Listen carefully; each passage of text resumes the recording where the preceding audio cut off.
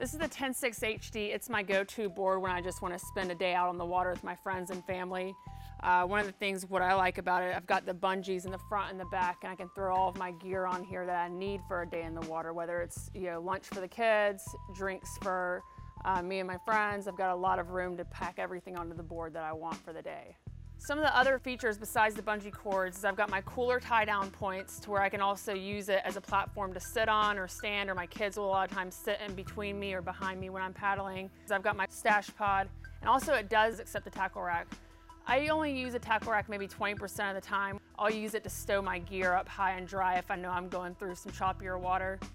The displacement on this board, the HD, is a little less intense than some of our other models that have the HD nose, which makes it more friendly for open water and also if you want to get out and catch some smaller waves.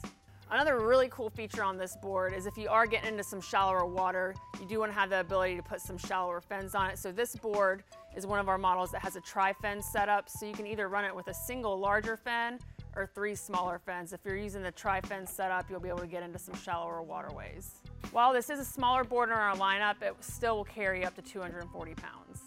In 2015, the 106 HD comes in the native lineup, which is this board right here. It also is available in the Classic, Chainmail Pro, and the Bug Slinger.